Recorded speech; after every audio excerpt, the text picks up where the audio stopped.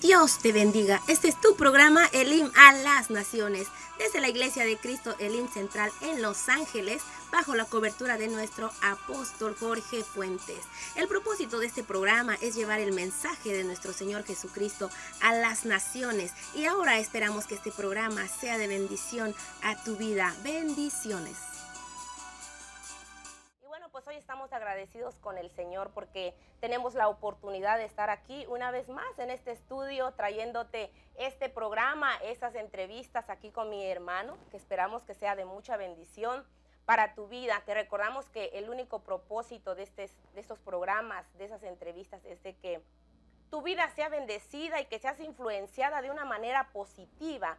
Quizás eh, estás pasando algún problema, alguna situación, quizás eres eh, un hijo de un pastor que algo te ha dañado en la iglesia, te has apartado, no quieres continuar, pero hoy traemos eh, esta entrevista con mi hermano Leo.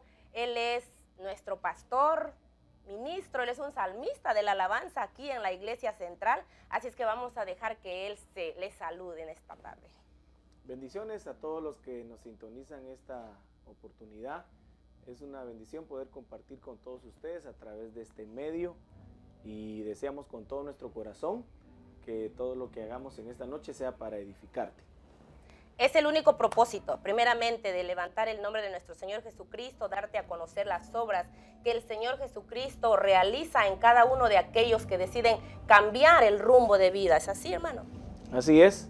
Sabemos que el Señor es el único que puede hacer un cambio trascendental en la vida del ser humano y sabemos que el poder de Dios es un poder que no tiene límites. Por eso creemos que en el Señor todas las cosas son posibles. Aleluya. Bueno, pues vamos a dar inicio a esta entrevista. Hemos estado trayendo aquí a la familia pastoral. Queremos eh, presentarles a cada uno de ellos para los que no los conocen. Muchos eh, que están fuera no conocen a la familia del pastor, a sus hijos. Y pues aquí estamos con el pastor Leo, así es que vamos a preguntarle al hermano Leo que nos comparta un poquito de su niñez. Ah, bueno, soy nativo de Guatemala y nací en la ciudad capital. Em, mis padres son los pastores de aquí, de el Central, el, hermano Jorge Fuentes y mi mamá Marlene de Fuentes en el principio de mi vida, mis papás no, eran cristianos. Eh, mi mamá llegó a los pies del Señor cuando yo tenía siete años y mi papá a los nueve años.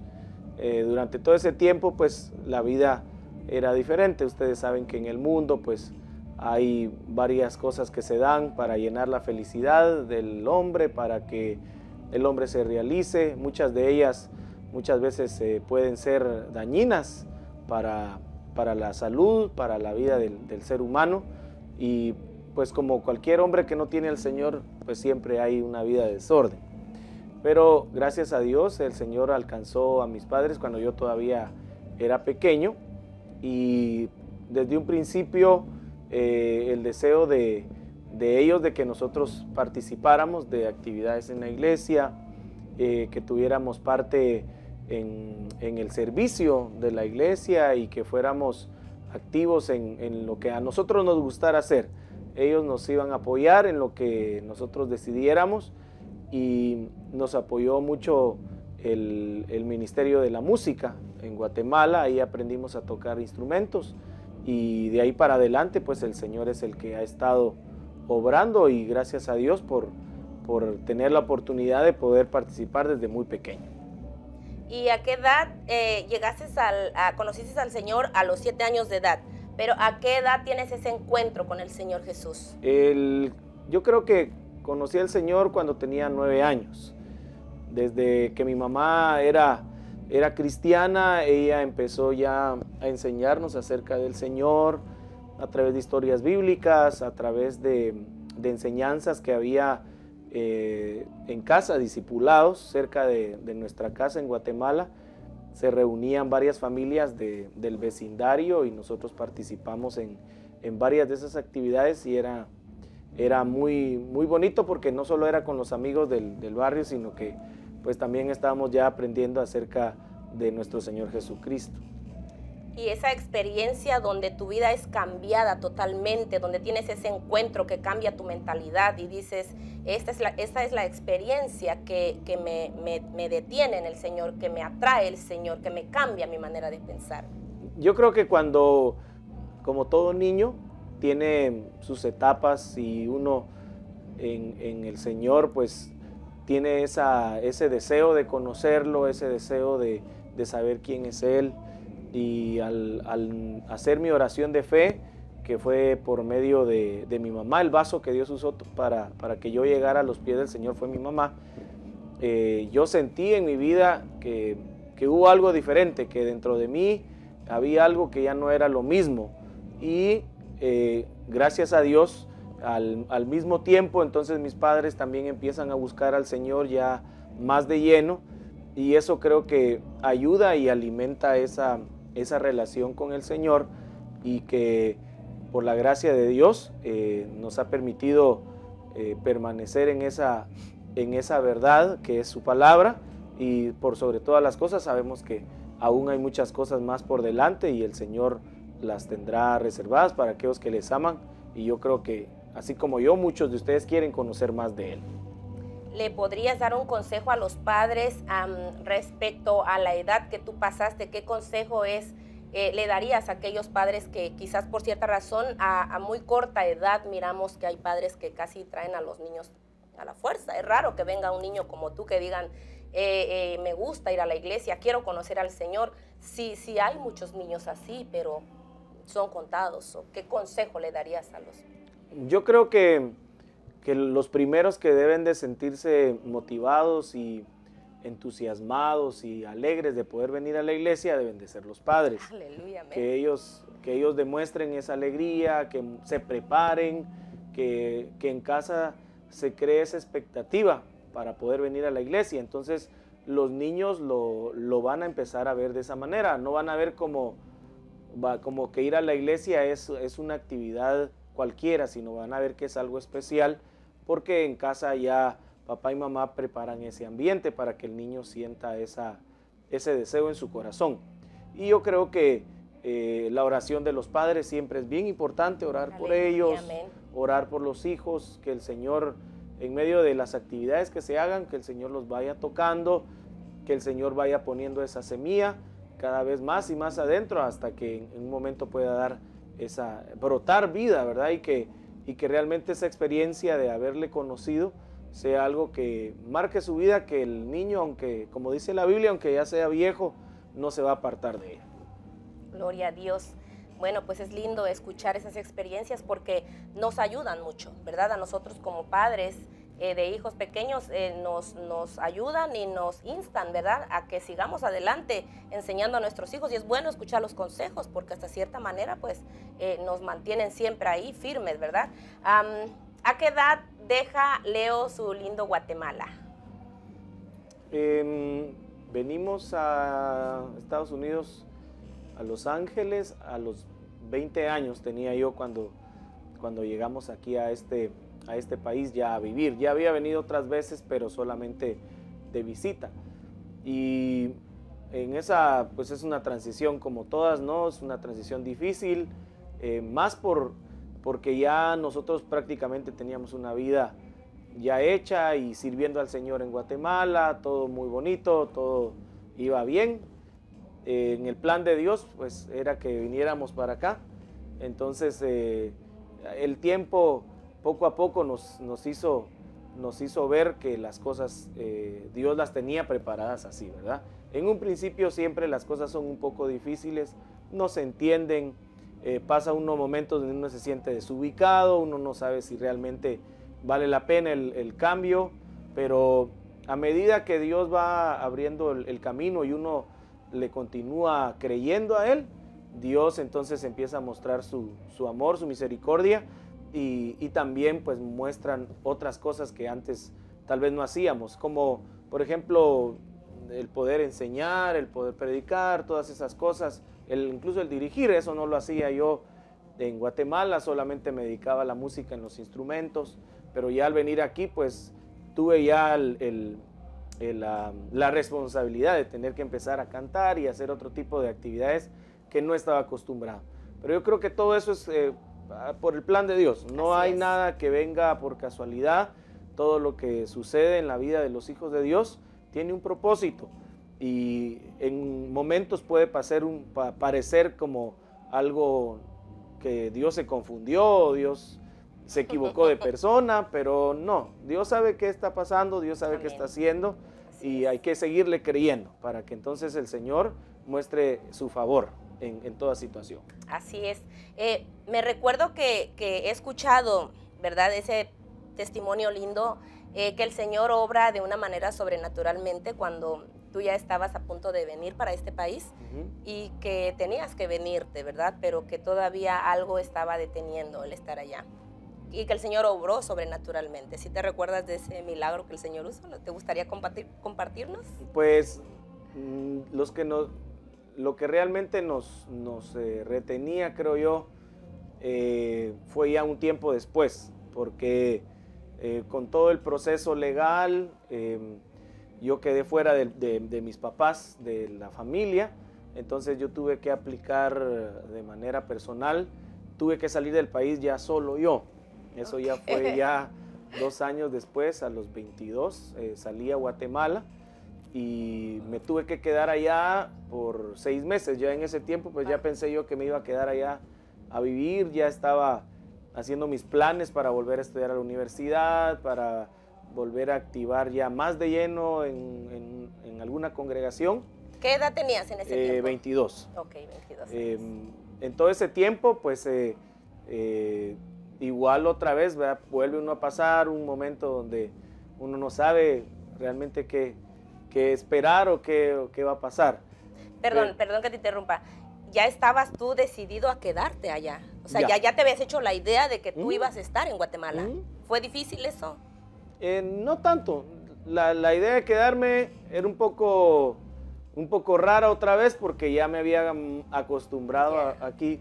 Pero volver, pero nunca sido una persona que me aferre a un lugar. Yo sé que pues si Dios nos mueve, pues hay que tomar cartas en el asunto. interesante es eso, amén. Eh, darle con lo que el Señor nos ponga sin tratar de estar buscando una comodidad, porque pues eso el Señor poco a poco es el que acomoda las piezas para que todo funcione. Pero em, ya me estaba haciendo la idea de quedarme. A los que no mucho les parecía era más a mis papás, porque pues sí sentían ¿no? el cambio y la ausencia. Y por el tiempo que había pasado, pues ya dije de plano, ya no me van a dar ya más visa ni, ni, entrada a Estados Unidos o saber cuándo lo van a hacer, pero en el momento en que yo decidí empezar a, establecerme otra vez, en ese momento entonces Dios dijo, no, ahora sí, ahora te vas.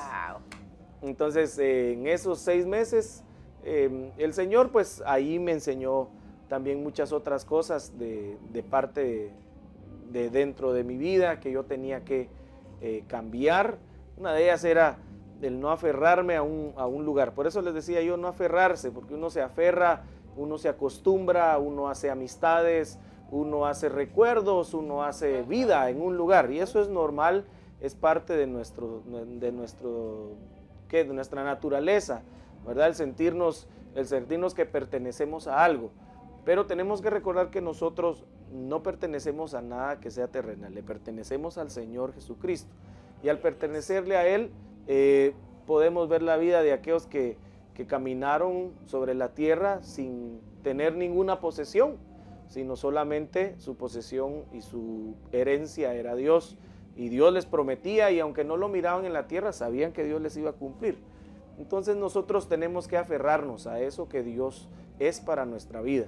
Te digo todo eso porque allá pasaron unas situaciones y eventos en la iglesia en la que yo estaba, de repente ya no pude ir a, la iglesia, entonces me quedé con esa sensación de inseguridad, pero Dios me enseñó eso, o sea que no tenía yo que quedarme plantado en un lugar, sino que tenía que estar en ese lugar mientras Dios me dijera que en ese lugar tenía que estar, estar con todo mi corazón y si había que moverse, pues moverse sabiendo que Dios es el que lo lleva uno hacia adelante. Así que si estás pasando un momento así un poquito de difícil e inseguridades, no sabes si te vas a quedar o si te quieres ir a tu país de regreso a lo mejor. Pero yo quiero decirte que si tú en este país conociste al Señor, en este país veniste y, tuviste una experiencia personal con el Salvador Jesucristo, quiero decirte que tú tomaste una buena decisión y que lo que está pasando en tu vida en este momento es cuestión de tiempo, pero deja que Dios te aclare, no te aferres al lugar, aférrate a Él. Cuando tú te aferras a Él, tú vas a ver que las cosas empiezan a tener un poco más de sentido. Gloria al Señor, o sea que comprendiste que todo era trato del Señor porque quería enseñarte eso. Mire, qué interesante esperar en el Señor, ¿verdad? La palabra del Señor dice que debemos de esperar en sus promesas, creerle sobre todo, ¿verdad? Cuando Él, Él llama, Él prepara todo el terreno, ¿cierto? Así es, Él es el que va abriendo camino. Donde no hay. Donde no hay. Gloria a Dios. Eh, ¿Es difícil el caminar eh, de un hijo de un pastor? Yo creo que siempre, siempre está la, eh, digamos, el estándar que la gente, el pueblo le pide al pastor y por ende a su familia. Le van a pedir siempre eh, un poco más, ¿verdad? Y van a pedir más, qué sé yo, un mejor testimonio, van a pedir que tenga la gente, que sean buenos con todos, en fin, bueno, la gente pide muchas cosas y sobre todo que no cometan errores, que eso es imposible. Todos cometemos errores, todos hacemos cosas que a veces no son buenas eh, porque seguimos siendo humanos. Y, eso es algo que, se tiene que aprender también dentro del camino del Señor, que seguimos siendo hombres. Por mucho que Dios use a una persona, es una persona, no es Dios mismo. Y esa persona tiene eh, sus fallas y tiene sus debilidades, como también tiene sus virtudes y tiene sus, sus, eh, sus buenas, sus buenas ideas o visiones. Pero yo creo que, que eso es una de las cosas que cuesta, es, es, poder entender en eso uh, el pueblo al, al, al, hijo del pastor. Entenderlos que ellos van a tener sus necesidades como joven, como niños, eh, van a tener sus necesidades eh, como, como, una persona adulta, eh, van a tener sus flaquezas como todos. Igual yo creo que eso es lo que más ha costado. De parte mía, yo creo que en mi persona, como lo he tenido muy claro, no me ha sido difícil, aunque tal vez la gente a veces diga cosas o, hable cosas, yo sé que definitivamente siempre por ser figuras públicas, siempre van a hablar más de nosotros. Definitivamente. No, no se puede callar, es como la gente habla de sus artistas, la gente habla de sus... No es por, por, ponerme el ejemplo de un artista, que no lo soy, pero la gente habla de figuras públicas, de su presidente, habla de, su, de la gente que los dirige, entonces siempre ellos van a estar en el ojo de todas las personas. Y cualquier cosa mala que haga, por muy pequeña, siempre la van a hacer más grande. Pero eso es, eso es parte de, la vida que, nos tocó y que, pues gloria a Dios, así quiso Dios que nos tocara. Sí, es una bendición, es una bendición ser, ser hijo de un pastor, yo creo, ¿verdad?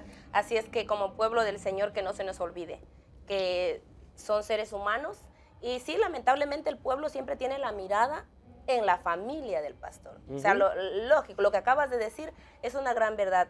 Todos pueden fallar, menos la familia del pastor. Se les olvida que todavía no hay alas, no somos, son de la misma pasta que nosotros, así es que cuidado, ¿verdad?, con levantar falsos.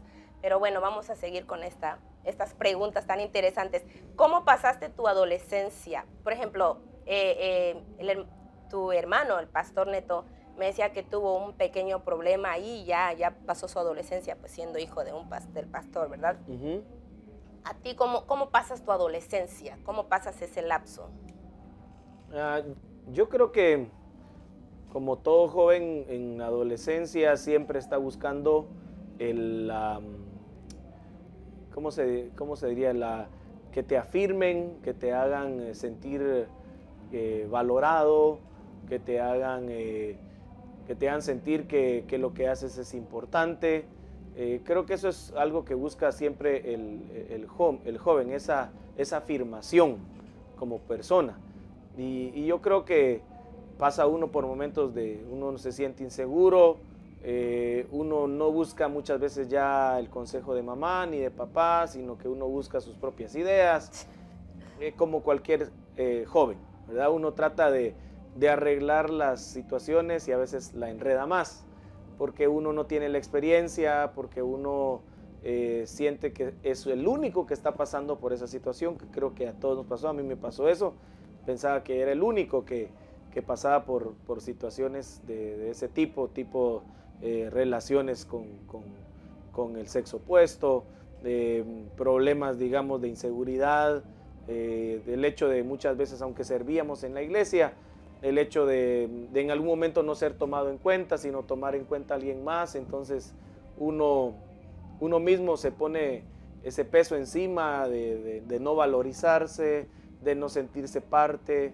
y bueno, todo ese tipo de conflicto que pasa, pero yo creo que paso todo ese tiempo en medio de, gente que me enseña a servir al Señor, me enseña que es una responsabilidad grande lo que estoy haciendo y creo que eh, eh, mucho tiene que ver esa influencia que ellos eh, pusieron sobre mi vida para que yo no me dejara muchas veces solo guiar por lo que yo pensaba o sentía, sino también seguir adelante, a pesar de que las cosas no se miraran como yo quería que se vieran, ¿verdad? Como joven, porque uno de joven, la ilusión de uno siempre la, la, tiene ya en su mente y uno idealiza las cosas y cuando las cosas no pasan así, se desmorona todo el castillo.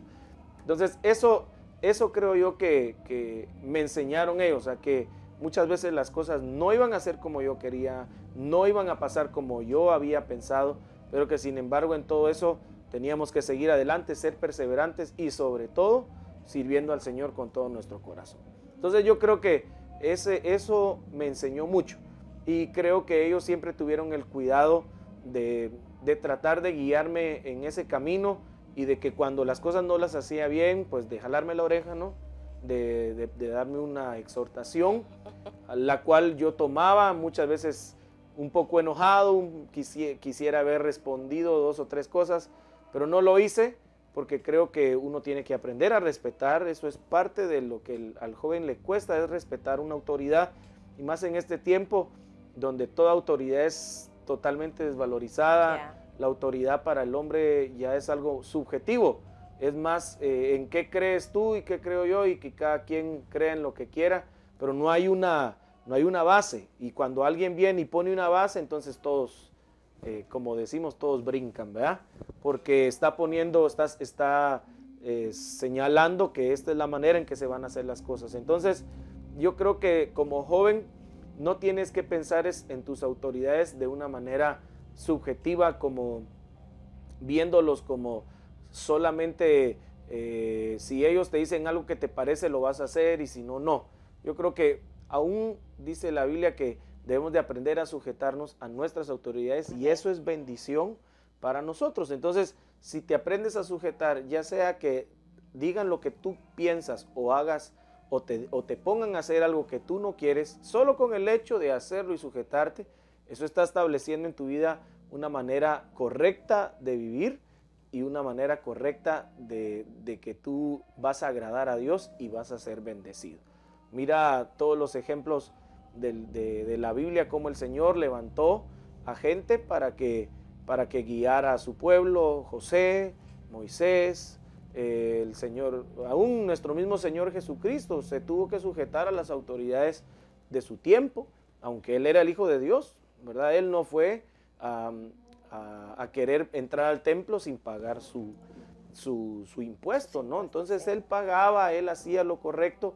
Por eso creo que nosotros tenemos que tomar en cuenta ese ejemplo, no tomar la autoridad como algo, eh, si me parece la tomo y si no, no, para que realmente entonces cuando tú en algún momento te toque ser autoridad, tengas respaldo de una vida que creyó en las autoridades. Y eso es bien importante para, todo joven que, nos escucha y nos ve esta oportunidad. Así es. ¿Y qué tal la presión como hijo de un pastor? La presión, eh, sí. Lo, mi papá llegó a ser pastor cuando nosotros ya estamos un poquito más grandes, ya teníamos, yo ya tenía 18 años. Entonces no pasé todo mi proceso de juventud siendo hijo del pastor, sino mi papá servía en la iglesia y todo, pero nosotros siempre, siempre estuvimos involucrados, no sentimos esa presión. La sentimos creo más ya cuando estuvimos aquí. De hecho, en el principio, cuando mi papá em, inicia su pastorado en, Antigua Guatemala, nosotros eh, le ayudábamos a él en la iglesia, pero no estábamos de lleno ahí por también ayudar en la iglesia eh, central de, Lima, en Guatemala. Entonces estábamos en los dos lugares, no teníamos mucho esa, esa presión. Más la tuvimos aquí en, California, pero yo creo que ya al venir aquí ya nosotros ya entendimos cómo, cómo corre el agua. Qué lindos consejos. Realmente el tiempo vuela, se nos ha pasado el tiempo, pero todavía tenemos muchas preguntas que hacerle al pastor Leo.